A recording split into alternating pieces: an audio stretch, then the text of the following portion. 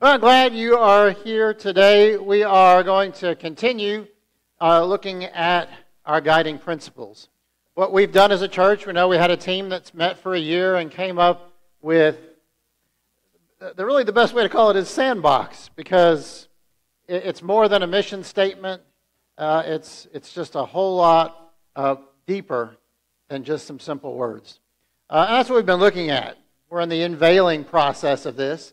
Uh, guiding principles are what we want to be as a church, who we say this is who we are as a church. Preferred culture, our personal goals to work on. So that's the difference. And we've been looking at the guiding principles and understanding how important those are for our lives as a church. This is what we're going to be known for. Because uh, Kings Highway has been here, and if you've seen the float in the back, and it's about remembering our past, as we have a 100 year history of a church, celebrating that this year, and it's important. It's important to remember what's built what we have today. But then there's the reality of you can't live in the 70s. You can't live on the past and just keep doing the past and hope that's going to be relevant for the future. But we have to have some key things. There's got to be something that we hold true. You know, I've, I've said before, if, if wearing a clown wig on my head and a big red nose would bring in 10 new people a week, then I'd wear it. Who cares? I'm still going to preach the gospel because that's who I am. I preach the gospel. But if that attracts people, then great. You know, so you've got to find out what do you hold true to that you say, we're going to make changes, but we're not going to lose sight of these things. That's what we've done. And we looked at a couple weeks ago being Christ centered. That if we're going to be a church, that we're going to follow Christ. Christ is going to be the forefront of everything we do. And that's why we have the communion table out in front. It is in the forefront of everything we are. And last week we looked at being biblically led. We're going to be Christ centered as we move in the future. We'll do different things, but Christ will stay in the center. And we're going to trust the Bible. We're going to go by God's word. Uh, and one of my favorite quotes, uh, you probably heard this, but the founder, the guy that, one of the guys, there was two, but one of the guys that set up this denomination, this you know, grouping, Christian Church Disciples of Christ, was Thomas Campbell. And he was very clear on this specific topic of being biblically led because he said, where the Bible speaks, we speak, and where the Bible is silent, we are silent. What does that mean? That means that if the Bible talks about it, then we listen and we do. If it doesn't talk about it, then know, the way we've interpreted that in our modern time is then we can agree to disagree but it's not something that you can stand firm on uh, that, that Scripture talks about. But if it's there, that's what we trust. So we've looked at those for two weeks. Excuse me. And uh, what we're going to lead into today, I'm going into the, the third one on our list of what we're going to be focused on, and that's being missional minded, mission focused. And one of the things I can guarantee you right now, it, it doesn't matter, and talking about, and I'm not excluding people older than 40, but basically in your 40 and under crowd, what they care about, whether they're liberal or conservative leaning, this is universal, is missions. People want to be a part of something outside the church. What do they see in denominational churches? Most young people look at denominational churches and see people that care more about the church, care more about keeping things the way they are, care more about making them happy than going out and reaching. Like I said, this spans liberal and conservative. Younger people want to be a part of something bigger than themselves. They want to go out. And, you know, if we're going to be Christ centered and biblically led, then we don't have a choice. Right? We're going to affirm those two, and we've got to come along with being mission focused as well. Why? Why do we do mission work? Because if we're Christ centered and biblically led, then we take seriously that Christ said, All authority in heaven, on earth has been given to me. Therefore, stay in a brick building and make disciples. Right? Yes? No? We're here, we're awake, we're asleep. We found the door and we wandered in. No, he doesn't say that. He says, Go. I like that. Go and make disciples. Go is an action word. It means we have to go, not sit, not stand, not be. Go and make disciples of all nations. Baptize them, Father, Son, and Holy Spirit. And then what I always like to highlight is because we got that, everybody goes, yeah, what's the Great Commission? Yeah, go baptize. We got that. But what we forget is then teaching them.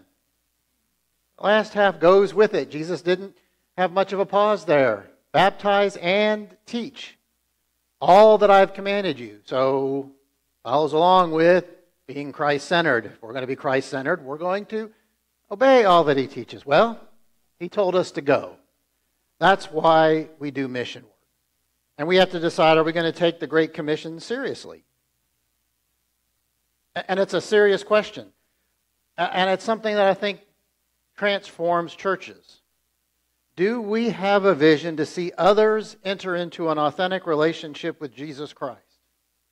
And don't shake your head yes if you're not going to willing to get up out of your seat.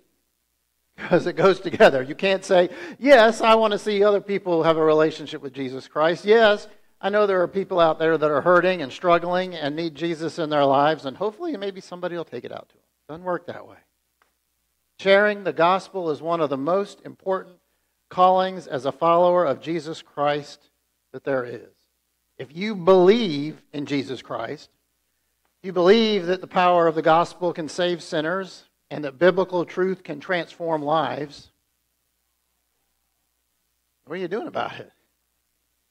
I mean, it, it's that simple. You can't say you believe all that and then not act on it. That last song was perfect, Andy. We have to be committed to sharing the gospel with others, and that's what mission work is. But what happens? What happens? And I'll tell you the truth. This is one of the reasons that, that people don't want to be younger people turn away from denominational churches. Is because what happens in denominational churches is we go, you know, we don't have enough money for missions because we have to pay for our building, so we're going to cut out missions. We don't have enough money to support a mission budget, so we're going to cut that out. Many churches, I don't know about this church in particular, but many churches I served at one point in time had a rule that 10% of all the money that came in on a Sunday had to be set aside separate for missions. Most denominational churches cut that out because numbers went down, money got tight, and we have to use that within. That's what they see.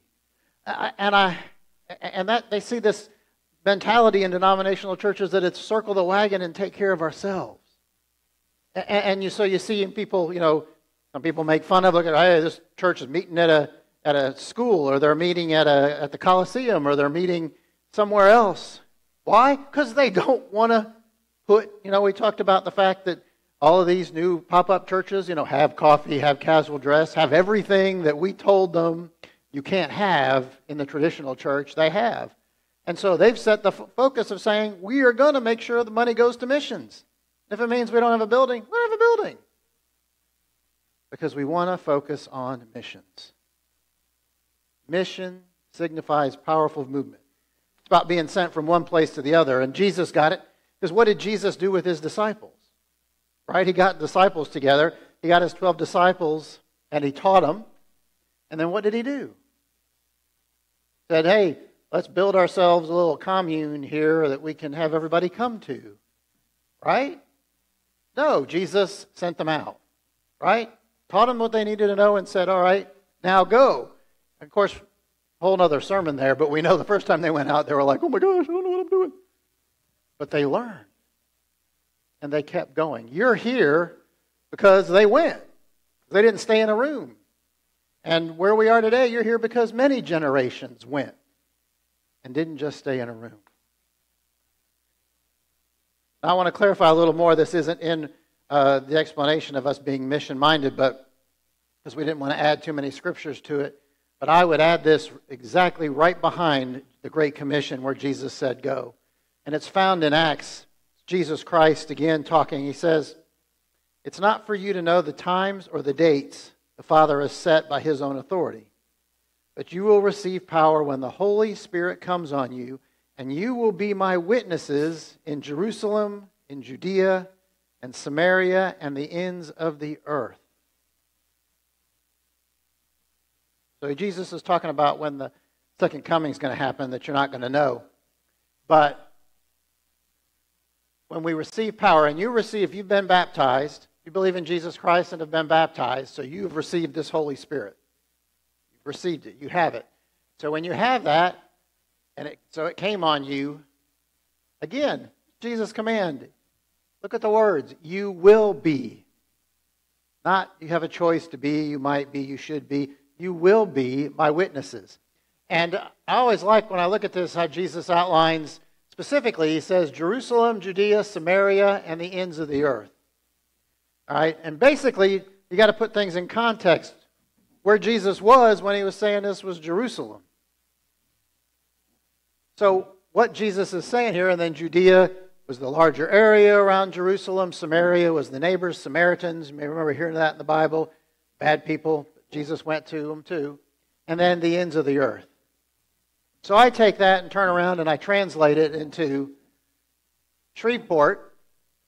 So Jesus says, when the Spirit comes on you, when you're baptized, you'll be my witnesses in Shreveport, in Louisiana, in the United States, and to the ends of the earth. When I look at missions, that's what I see Jesus saying to us today. We've got to make a decision. We're either going to do what Jesus wants to do or we're going to do what we want to do. And people have made that choice throughout history, throughout the beginning of the Bible. Adam and Eve made a choice they're going to do what they wanted to do or what God wanted them to do, and how'd that choice go? So we know when we make when we're not following what God wants for us, when Christ wants for it, it tends not to work out very well. So what's the big question? That was I was going to show you a map. There's Jerusalem where Jesus was, then uh, Judea is this whole pink area, Samaria, their neighbor, and then the ends of the earth. What is the church's mission? In a nutshell, if we're going to be mission minded, then the church's mission is to glorify God by proclaiming the gospel to the lost and making Christ like disciples who make Christ like disciples. It's a repetitive pattern. Another way to say it is the mission of the church is to go into the world and make disciples, followers of Jesus. You know, a disciple the disciples were people who followed Jesus, learned from him so that they could replicate what he did. That's what the discipleship process is, is that you learn from somebody, knows it, so that then you can go out and teach somebody else that too and replicate it. Uh, the mission of the church to go into the world and make disciples by declaring the gospel of Jesus Christ in the power of the Spirit. We're all empowered by the Holy Spirit, gathering these disciples into churches so that they may worship and obey Jesus Christ and go forth to the world. When you look at the mission statement, I should have had that logo put up, but it's on the front of your bulletins there. It says, Grow with God, grow with others, grow in discipleship. It's in that circle with the tree in the middle. We've taken two of Jesus' commands and put them together. The most important command, which he answered love God and love others. Right? And then the Great Commission Go out and make disciples. That's what's important. Jesus said, make disciples locally, nationally, area wise, and globally. And that's the responsibility we have. But too often, and this is a critique of the denominational churches. So if I say us, I'm not necessarily meaning King's Highway, but denominational churches is that we've got so internally focused. And now I say that, and you're going to say, well, you just, you just countermanded yourself. You just said the opposite. Because today we're having an opportunity to sign up. Back the tables, tables back there are ministry teams, ministry opportunities that happen within the church. You're going to say, wow, why, why, are you telling me to do something within the church if you're trying to tell me to go out of the church? Well, it's that discipleship process. One of the things that has happened in the church is that we've focused on those ministry areas, and what I'm talking about is things like Christian education, heard of, uh, membership, worship. And we've let that be the end all be all. They're important. They're important because we can't just be a random group of people sitting here doing whatever we want. So we need some internal groups to help organize us. And here's what we've lost with the point of the going. So I've been challenging our teams. So membership needs to know how can they do membership and incorporate. Well, I'm going to start playing your tambourine again. How can we incorporate going out in it. So it's not just all about just us and meeting our needs, but moving out. So there's some there's some sign up seats if you want to be part sign up sheets. Did that come out right? Uh, back there that you can sign up to be a part of those. Again, we need to accept those as equipping ministries, things to help organize us in here on how to best make disciples that go forth. So I don't want you to miss those opportunities to do that. The only issue is we can't do it with the expense of missions because everything we do needs to point us out. We have to carry out the Great Commission. I'm going to break that down, that first sentence uh, that I made about what the church's mission is, a little bit down to pieces. I said the mission to glorify God by proclaiming the gospel to the lost. Now, that's first and foremost our responsibility. We've got to glorify God to those out there. And, and that's hard today. Because a lot of people think when you're trying to bring God out, when you're trying to bring Jesus out, you're trying to be judgmental and judging whatever it is they're doing in their life. Because honestly, we live in a world where the rule is whatever I'm doing, if it makes me happy, it's right. If you don't like it, you're wrong. It makes it hard. It makes it hard to take the gospel out, show people a different way. But it never has been easy. I mean, that's what we forget, right? What happened to the disciples? Anybody know? Anybody remember? No? I saw smiles. They were killed. They were killed. So, yes. Is it hard? Yes. Are you going to face persecution? Yes. Are you supposed to do it anyway? Two of you will. Thank you. Yes. What Jesus was all about. Jesus' ministry was centered around proclaiming the gospel. Really? What did Jesus do? That's all he did, right? I mean, he spent three years after growing up, he spent three years just going out and telling people about the gospel. Okay? Right? Mark 1:14 says, Now after John had been taken into custody, this is right at the beginning, Jesus came into Galilee preaching the gospel of God and saying, The time is fulfilled, the kingdom of God is at hand, repent and believe in the gospel. That's what he did. Was his whole point of his ministry was to point people to God. And at the end of his ministry, he entrusted the disciples and us to continue that work. Period. He entrusted us to be the Great Commission. We're going to have a great song at the end that helps drive that home. But we have to answer will we take up that call? And it's back to if you're going to say, if you're going to agree as being part of this church that we're Christ centered and biblically led, you really don't have a choice. But if you really believe what it all says, then you should be excited about taking that to others. Breaking it down, the church's mission is also to glorify God by making disciples who love God and one another. Right? Great Commission isn't just about making converts, but making disciples who are obedient followers of Christ. We're to baptize people into Christ's death, burial, and resurrection. We also have to teach them all that he said, all that Jesus commanded. And it's a lifelong process of growth. I'll tell you this if a person professes to know Jesus Christ as their Savior but is not seeking to grow in obedience to Jesus' commands, then their profession is shaky. Because it's easy to say, I believe. And it's easy to say, I believe, and it's easy to get baptized. But if you're not going to grow in obedience to Jesus' commands, if you're not going to do what he says to do, then what did you really do in your confession? Who wants to stand before Jesus and say, I understand, Jesus, that I was to learn all about you and obey you? I was going to get around to it. One of these days. Sorry I didn't make it before I met you. Maybe you wonder what are Jesus' commands? I mean, we've got those. I said those. To love God with all your heart, to love your neighbor as yourself. Oops, I skipped ahead. Lastly, This is all part of that first church's mission make disciples that make disciples. We aren't willing to make disciples who make disciples, then we're just talking to ourselves. And that's a critique of the established church, that all we care about is ourselves anyway.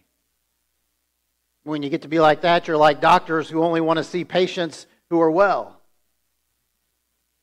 Be great, wouldn't it, being a doctor? Jesus came to call sinners to repent. Jesus came to help turn people's lives around and show them a different way. That there was a way that could lead to happiness and wholeness now, today, and forever. It's a process of multiplication.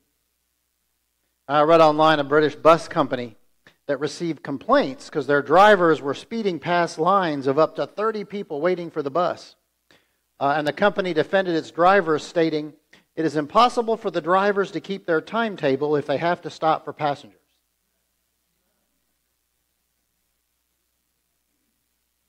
Company added, If we could just get rid of all the people, the system would run fine.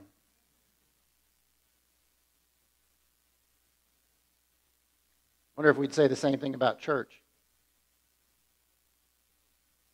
We can't lose sight of our purpose to glorify God. We can't lose sight of our pur- purpose to be disciple makers that make disciples who make disciples. Focus on anything else puts us off course. So what? That all sounds great. It's easy to nod our heads and agree with that. So, what do we do with it? The first, I, I challenged all of our Sunday school classes to come up with some way that they're going to serve the community. And I challenged all the members in the earlier service to come up with a way that you're going to serve the community. And if you want to include some others from the church in it, that's great. But I want you to hear what I didn't say. I didn't say, I want you to tell me ways that we should serve the community. That's what we do in the church, right? We say, we need to be involved in our community. And everybody goes, yes, yes, yes. And then I'm flooded afterwards with, you know what we need to be doing? We need to be working here. We need to be working here. We need to be working here. Great. I'll, I'll get on that. I'll start working at all those. We think somebody's going to do it. That's where we've got to stop. Not thinking somebody's going to do it, but here's what I'm going to do. And some people hopefully will join me because I'm going to serve our community. So, what we do, there's two ways we can be involved participation and financial support. Right? If we're claiming the Bible to be true, we're claiming Christ is our authority, Bible's true, then we have to be involved in mission work. And like I said, based on what Jesus put out, I look at that as a local, national, and international responsibility. How are you involved in local mission? That's what I want to hear. We have some as a church. We have the food bank, the Highland Blessing Dinner. We're supporting the Shreveport Pregnancy Center. Uh, Mary's boxes out back that we put food in for those in our community uh, might be homeless or coming by and need some food. That box is out there. Those are some existing ways you can help. But I'd love to, to see more. Local mission is important. It's also one of the hardest mission opportunities to do. I was talking to somebody because uh, anytime you talk, and I get to national and foreign, anytime you start talking about national and foreign, I always have people, every church throughout my whole career, wow, yes, that's important, but we need to take care of our own first. We need to take care of the people in our community. Heard that forever. But you want to know the hardest when you look at missions as local, national, and international. You know what the hardest one is to get people to be a part of? Local local. Because if I say, hey, we're going to take a mission trip, our youth are going to, to New Mexico this year, we're going to take a mission trip to New Mexico. So people take time off, they mark it in their calendar, it's set, untouchable, work's done, whatever responsibilities, and it is set. And it happens, you go and come back. But you say, I come out and say, hey, this weekend I'm going to be building a Habitat church across the street or a house across the street. Who comes joins to join me? Well, I've got to change the cat litter this weekend and uh, got a laundry to do, and it's just a busy. It's too a busy weekend, bad weekend. Yes, but we need to be involved in locally. We need to be taking care of our neighbors around us and letting them know that we are here and a part of this community. But it's hard. Second is the, like I said, is national, and we do that very well right now with our youth mission trip. They were in uh, um, Colorado last summer, going to Mexico, New Mexico this summer, uh, and a great opportunity to share the gospel. Sharing the gospel in word and deed when they go on these, because they end up being at the house of somebody who has felt like nobody cares about them. I've been doing this for 30 years. And most of the time, the houses we work on are people that have tried to get help through the city, tried to get help through other churches, haven't been able to get help, thought it was hopeless, nobody cares about them, nobody loves them, and then a group of teenagers show up at their house to help make some needed repairs and talk to them about the gospel. We need more of those. I'd love to see a adult mission trip. Uh, go work on a habitat house. Done that before in Mississippi or Arkansas. Texas. We need to be involved in our country. Lastly, Jesus said ends of the earth, which I interpret as international mission. And international mission is important. I mean, it is important to do local, but you're never going to hear me give up and say, well, no, we just don't need to do international mission. Because that's the same thing as just being focused on ourselves inside the church. We live, we are part of a global community. We're part of the world. And there are places in this world that are in a lot worse shape than we are. There are places that know poverty that we don't even begin to know. And so we need to do something about that. We need to be a part of that. So, action items I'm going to present two opportunities for the church. I already had from first service a couple people tell me they want to look into joining me on this. One, somebody that came to the church. We had a lady. Uh, Patty Sue Arnold that came from Casa de Fe is an orphanage in Ecuador. Um, and a lot of these kids that uh, the orphanage has are obviously of an orphanage, so they're abandoned kids, but a lot of them come out of the Amazon jungle because where this uh, orphanage is is right on the edge of the Amazon jungle. And in the Amazon jungle, what they do with any kids that aren't normal, I put that in air quotes because I don't know what normal is, but in, in, their culture out there, you know, in the Amazon jungle, if, if they're born with a cleft lip, if they're born with anything that they're not looking perfect and able to do, then what do they do in the Amazon jungle? They just set them out for the animals. Yeah, they don't have medical. I mean, it's it's it's survival of the strongest. So if there's something wrong with the child, it's just left laying out in the jungle, and it, and, and this orphanage goes around in the jungle and says, if this happens, just bring them to us. Bring them to us and we'll take care of them. So, one of the biggest ministries of this uh, orphanage is to do that, is to take these babies out of the Amazon jungle. And a lot of times, through partners they have here in the United States, you know, they've, they've flown some of the kids here to the United States because some of the problems they have are simple things we conquered years and years ago in children and babies. And so they'll fly them over here, we'll fix them and fly them back, and then they work to trying to find them uh, someone to adopt them, but they want to keep them in the country, want to keep them in Ecuador. Uh, so this is a great orphanage, a great ministry. So I'd like to put a trip together. And this is a great opportunity for everybody. You know, some things about mission trips, people say, well, I, I can't build, I, I, don't have any skills. The great thing I like about the, uh, uh, and this is what it looks like the orphanage in Ecuador, is they need people, one, that'll sit and rock a baby. So if you can sit your tuchus in a chair and rock back and forth with a baby in your arms, they need you. If you work in the kitchen and help out getting the meals prepared, they need you. If you want to work outside, working on the building, I mean, think about an orphanage. Think about your house and how many projects there are. This is a huge area that's got always kind of projects. So if you're a, you know, I'm a guy, want to hammer a hammer or work a wrench, that's out there to do too. So there's everything for people to do. And this is a great opportunity for us to extend our reach from Shreveport at Kings Highway to Ecuador and be able to fulfill the message that Christ gave us, take the message out to the ends of the earth. These people need to see the love of Christ, need to see that somebody cares. And you know, part of it is the always I've said the part of all this is the blessed ministry of showing up. I mean, just making the trip makes a difference in their lives to realize they're important and somebody cares about them. So if you're interested in being part of a trip to Ecuador, let me know. We're going to start working that up. Like I said, I've already gotten some. Um, get to have fun with the kids. As a, our group that went over there um, used some of our money to take the kids. They have a, a big pool place they can go. We took them there, and we took them to a Chuck E. Cheese's called Mr. Joy, but it was a Chuck E. Cheese's, and we paid to take all the kids there to let them have fun. Um, have an opportunity to do something that they don't get to do very often. Uh, another ministry opportunity uh, that I want to put forth to our congregation is Kenya. I have a friend in Kenya. His name is Bishop Stephen Chege. He's the one in the brown suit right there. Uh, a Kenyan that has gone around ministering in Kenya and Uganda, starting churches. Uh, and I've been with him over there with people that hadn't seen saw some of those kids hadn't seen white people before.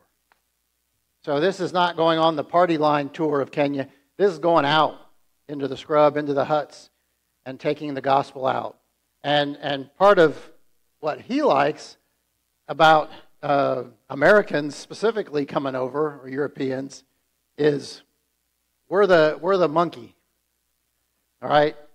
We're the one that's, that puts on the show because when you say, hey, there's a white person coming, everybody comes out from everywhere to look at the dancing monkey, which is the white person, because, oh, there's a white person.